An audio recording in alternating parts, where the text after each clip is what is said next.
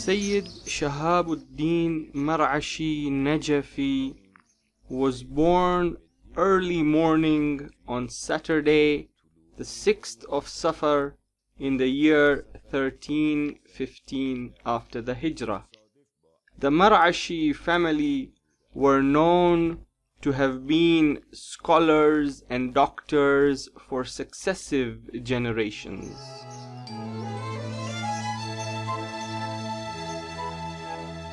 ایشون وقتی متولد شدن پدر بزرگوارشون بردن اول خدمت آقا امیر المومنین حرم برای تبرک خدمت حضرت.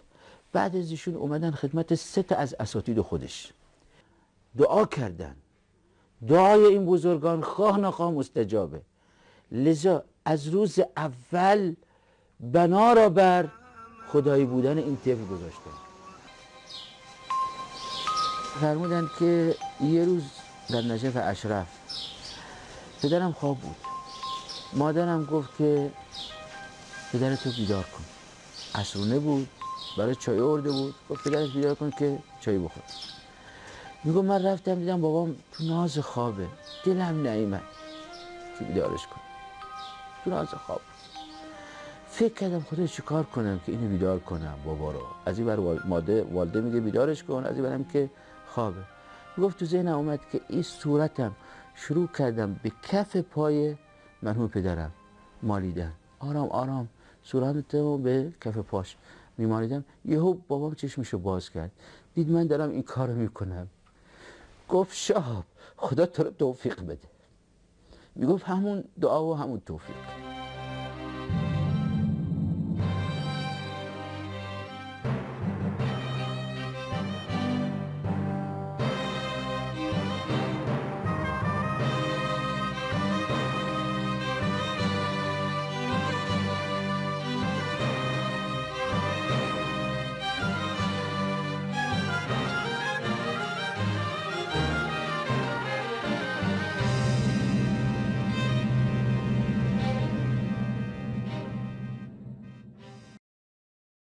Ayatollah Shahabuddin Najafi was a Sayyid from the Mar'ashi family whose lineage reaches back to the fourth Imam Ali ibn al-Hussein Zainul Abidin alayhi salam.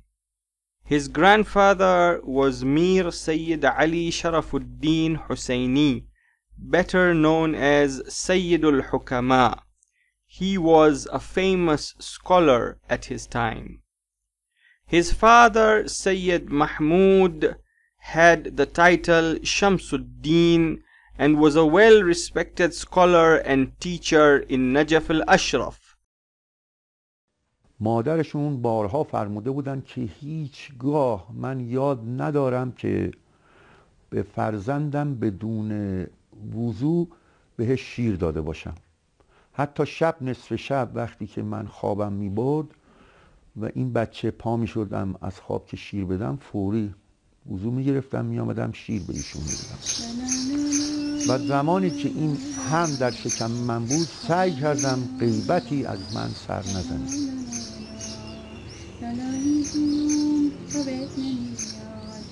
در نجف رسم بود. بچه رو میفرستادن که قرآن یاد بگیره در سن چهار پنج سالگی.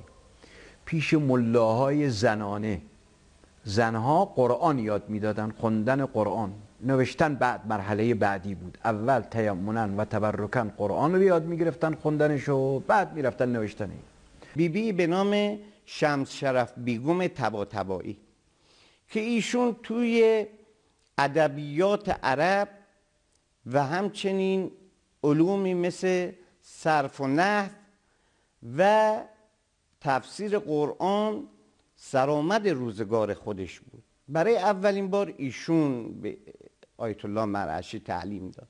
از کنم که حقیر از اولی که مشغول تحصیل شدم. چه در تحصیل همین علوم قدیمه چه قبلا که مشغول تحصیل علوم جدیده بودم که بعد از دو سالم تحصیل طب کردم اون وقت وارد شدم در این علوم قدیمه.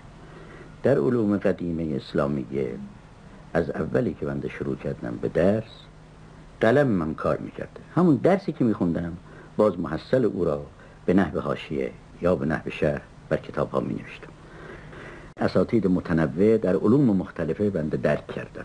بله. استادهایی پیدا می‌کردم در این گل گوشه ها از پیرمردهای سال خورده بیچاره تو خانه افتاده می‌رفتم از اینها اکتفاز اکتساب فضل می‌کردم. که هیچ کس نگاه اینا نمی‌کرد. خیال می‌کردن شاید اینا سائل به کفن گدان مثلا بله بله. از این راه یک قسمت عمده بعد مراجعه به کتابخانه های عمومی. از کتابخانه هایی که زیاد حقیق در اونجا کار کردم حتی آثار قلمی من در اطراف اون کتاب به اذن صاحب مکتبه نوشته شده خیلی جا خط من کتابخانه مرحوم عاشقمند حسین کاشف الغطاس در نجف. علاوه بر کتابخانه های شخصی اشخاص که زیاد از اونها هم بنده استفاده کرد. مثلا ایشون وقتی که مسافرت می‌کردن و بیشتر این مسافرتاشون هم علمی بوده مثلا مصر می‌رفتن هند رفتن هر جا که رفتن به هر شهری می‌رسیدن و استادی رو می‌دیدن استاده رو قانعش می‌کردن که مونده حتی یک درس به ایشون خصوصی تدریس کنن ایشون میفرمودن که بنده وقتی که خواستم کفایه رو بخونم سعی کردم پیش شاگردان مرحوم صاحب کفایه درس رو بخونم.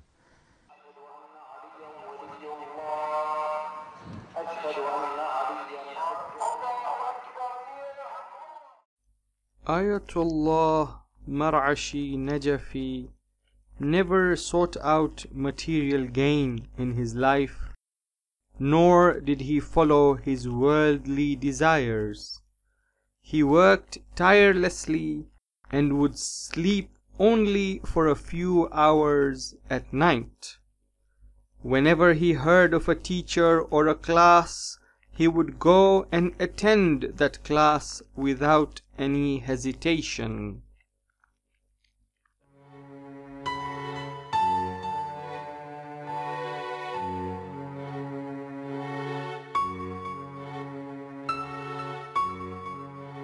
ایشون نقل می‌کرد که لمعه میخوندیم یه استاد خیلی قذوب بود و هر که تو درسش اشکال می‌کرد ایشون دیگه داد و فریاد و گاهی حرفای رکیکی و می‌زد و می‌گفت سبب شده بود که طلبه ها همه دورورش رفتن. فقط من موندم. درسش هم خیلی خوب بود. مرد فاضلی بود لمعه می‌گفت. می‌گفت دلم نمیمد که این حیفه با این علمیتی که داره ولی خب تند اخلاقیش طلبه ها رو همه رو پرونده. لذا یه روز بهش گفتم استاد یه کاری بکنیم با هم عهدی ببندیم. گفت چی؟ گفتم من میشینم جلوت وقتی می‌خوای درس بگی شما هر که سوال می‌کنه و عصبانی میشی به من نگاه کن هر چی فوشی حرفی ناراحتی داری سر من بیار. من قبول می‌کنم که درست رونقی پیدا کنه و خلاصه حیفه طلبه استفاده کنن. می‌گفت ما اتفاق کردیم و اتفاقا خیلی خوب شد. میگه طلبه دیگه اومدن شروع کردن اومدن و ایشون هر وقت عصبانی می‌شد رو کلمی رو من. هر حرفی که می‌خواست به او طلبه می‌زنه به من می‌زد. خلاصه ما شده بودیم. سنگ صبور استاده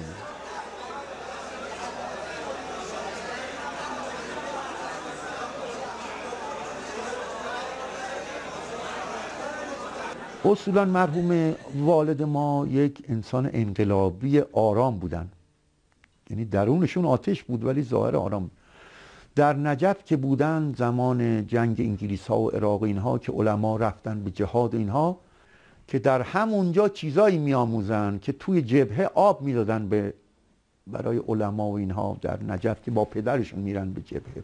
برای من نقل می‌کردن راجع به جنگی که رفتن جهادی رو که رفتن با انگلیسیا که در جایی نوشته نیست که ایشان برای من قصهش نقل کردن گفت که من دیدم اون روز پرچمی رو آوردن.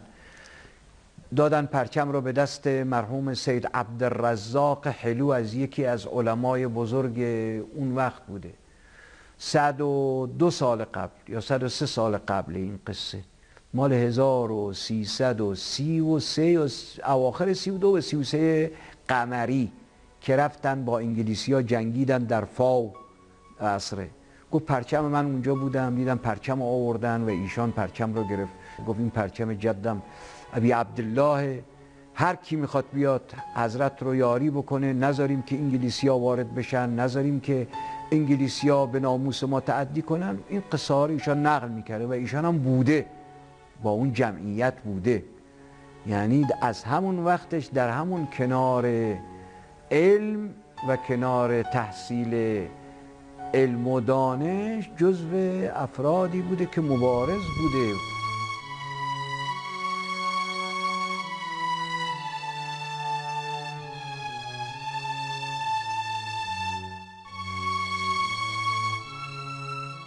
به فضل و کرم الهی حقیق در اکثر علوم بلکه در تمام علوم اسلامی هم مطالعاتی دارم چه درسش خوندم چه کتابهاشون رو مطالعه کردم چه تعلیفاتی داشتم در تمام علوم اسلامی.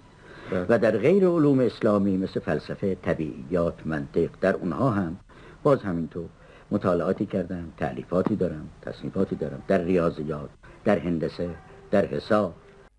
When his father passed away, all the financial responsibility fell on his shoulders, and this led to a lot of hardship. Despite this, he kept his situation hidden, and nobody was aware of what he was undergoing.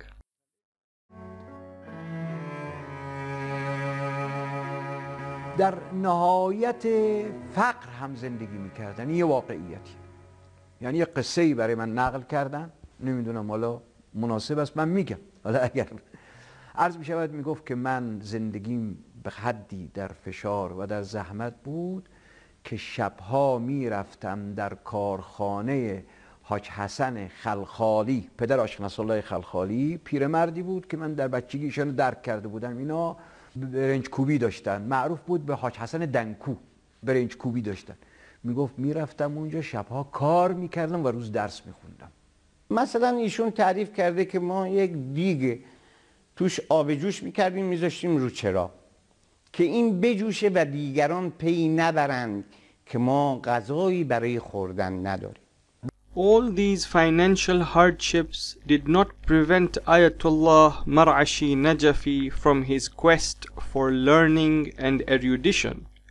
This makes him an inspiration for all students in the seminary who have to cope with straitened circumstances. خودم از ایشون شنیدم. می‌گفت خدمت شیخ محقق عراقی. اصول میخوندیم. بعد از درس می‌گفت من تا در خونه ایشون میرسوندم و ازش سوال می‌کردم. درباره درس و بحث سوال می‌کردم. مناقشه ای سوالی. می‌گفت یه روزی ازش سوالی کردم. یهو ایشون عصبانی شدن. در حین جواب با عصبانیت زد تو سینه من. بنده می‌گفت همون لحظه. تا تو سینم زد دستشو گرفتم ماچ کردم. یا اشکش اومد پایین گفت شهاب لقد ادبتنی. شهاب منو تعدیب کردی. مثلا فرمودن تابستان ها همه طلبه ها به ایران می آمدن چون نجف خیلی گرم بوده. برقم نبوده وسایل نبوده. بعد میموندن در نجف بازم به تحصیل ادامه می‌دادن. می‌گفتن از بس گرم بود. روزها آفتاب که از روی حیات مدرسه می‌رفت. من و این آستاب القاسم هم مباحثه و هم حجرم لنگ میبستیم. می‌رفتیم توی حوض مدرسه اون وسط. تا زیر سینمون می‌رفت توی آب. که گرما رو حس نکنیم کتاب به دستمون می‌گرفتیم. اونجا مباحثه می‌کردیم این گونه. خیلی سختی کشیدن.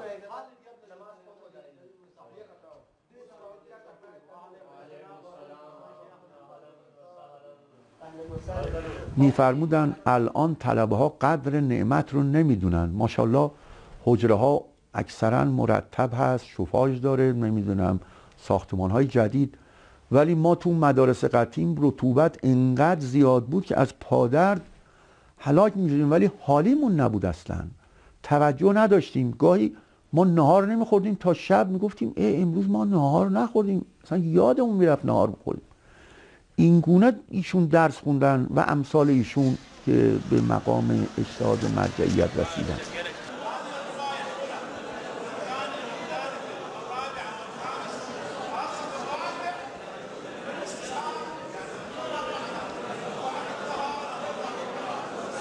بنده یه چیزی از ایشون شنیدم مباشرتا که فرمودن که ما ده نفر بودیم طلبه که از از نجف اشرف پیاده میمدن کربلا. می‌گفت چندین بار ایشون تقریبا 25 بار پیاده اومدن از نجف به کربلا. می‌گفت ما ده تا طلبه بودیم با هم معنوس بودیم و ده تامون مرجع شدیم. یا مرجع یا مجتهد مبرز. می‌گفت هر ده تامون مرجع شدیم. بعد ایشون میفرمودن که بنده بودم و آسد محمود شاهرودی آیت الله عظما سید محمود شاهرودی آیت الله عظما سید ابوالقاسم خویی آیت الله عظما سید محسن حکیم. می‌گفت ما اینا یه تیپ بودیم که با هم معنوس بودیم و اینکه وقتی مسافرت می‌رفتیم هر یکی یک کاری داشت باید انجام می‌داد. گفت کار من این که آب آوردن بود برای رفقا. هر جا که اطرق می‌کردیم منزل می‌کردیم آب رفقا که باید برای چایشون برای خوردنشون با من بود. من باید تهیه کنم از هر جایی که شده.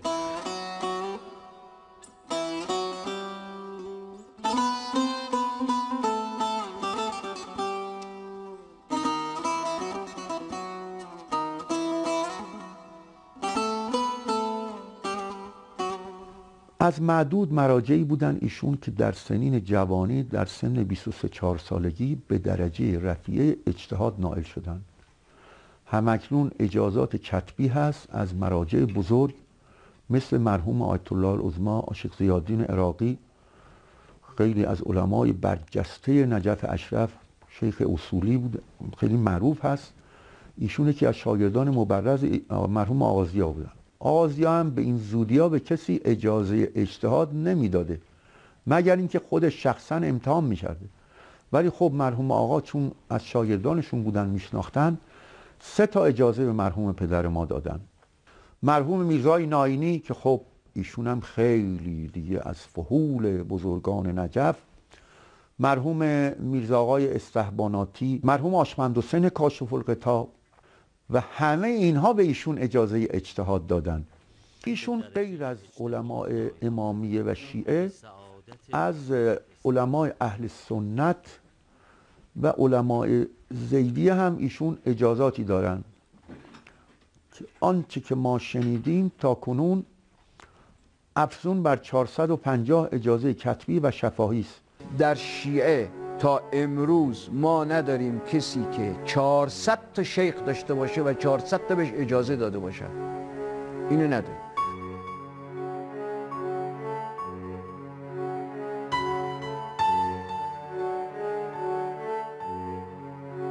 ایشون نوشته بودن من در ایام جوانی در سامرا بودم. دو سال ظاهرا سامرا درس میخوندن در ایام جوانشون. و فرمودن که من در اون زمان یه ذکرهایی داشتم. مشغول ذکر بودم. به جایی رسیدم خودم اینو دیدم. به قلم خودشون دیدم و الان هست. خدمت آقازادشون هست. نوشتش ایشون فرمودن که من در اثر ذکر گفتن به جایی رسیدم. که اسمع ما لا یسمع غیری و ارا ما لا یرا غیری. به جایی رسیدم در اثر این ذکرام که چیزهایی می‌دیدم که دیگران نمی‌دیدن و چیزهایی که میشنیدن که دیگران نمیشنیدن و اینو نوشته بود به عنوان شاهد. که یه شب مشغول ذکر بودم دیدم که انوار مقدسه از آسمان به گلدسته و قبه حضرت عسکریین علیهم السلام اینا فرود میان انوار از آسمان فرود میان همینجور تا می‌رسن به زریح حضرت. 24 ساعت ایشون 4 ساعت میخوابید. یکی دو ساعت به از اون پا می‌شد. این آه و ناله هایی که تو اتاق خودش داشت درم از پشت میبست که ان گریه هایشون می‌کرد که این در دیوار میلرزید. و واقعا به قول یکی از بزرگان می‌گفت قیامت و خداوند ائمه باورش شده بود. مثل که می‌دید به رأی العین. خدا رو می‌دید. جوری تذرع و خشوع داشت نسبت به خداوند بزرگ میلرزید.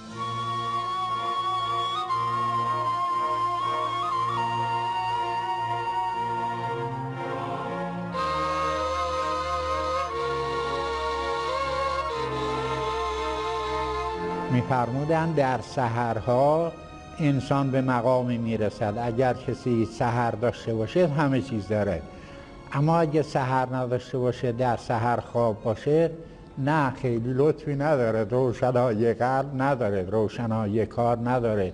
پیشرفت چندونی نداره. حضرت فاطمه معصومه را دیده بودن حالا در خوابینا فرمودن به همون حالتی که از مادرمون فاطمه زهرا سراغ داریم به همون وضع دیدم.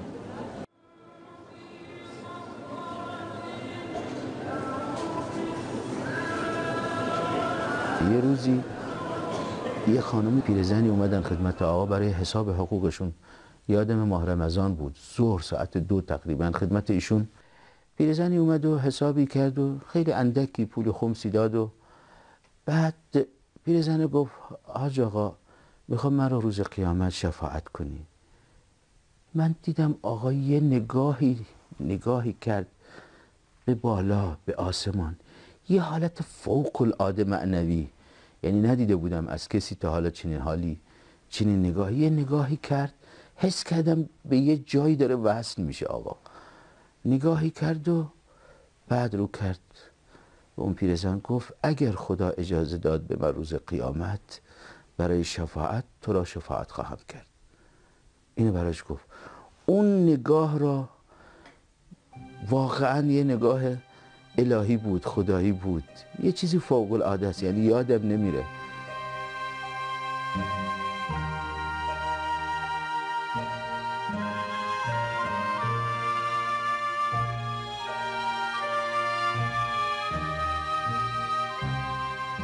و ایشان فرمودند که من از اول بلوغم. تا حالا تا اندازه‌ای که می‌دونم علمشو دارم چیزی که مطابق با هوای خودم نه گناه. گناه که نکرده. چیزی که مطابق با هوای خودم مثلا فرض کنید یه غذایی که حس کردم که به این غذا میل دارم. چون که احساس می‌کنم نفسم می‌خواد این غذا رو بخوره هوای نفسش اثر می‌ذاره روی خوردن غذا اونو ترک می‌کردم. برای خدا مخالفا لهواه.